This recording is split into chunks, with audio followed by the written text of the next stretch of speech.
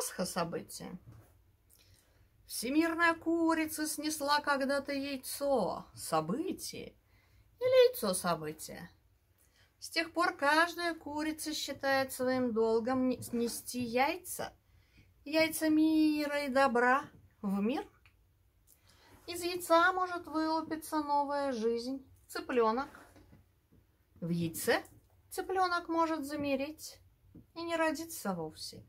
А может быть, это пустое яйцо, только видимость яйца, хоть и вполне натуральная, и тщетно ждать от него новой жизни, можно прождать всю свою жизнь.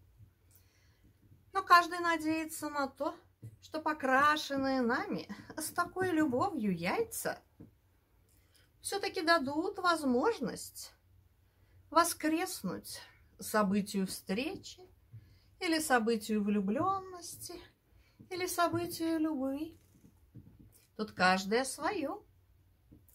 А еще взрослые люди. Возможно ли, чтобы из сваренного вкрутую яйца возникла новая жизнь? Съешь уже это красивое красное яйцо и жди новой Пасхи.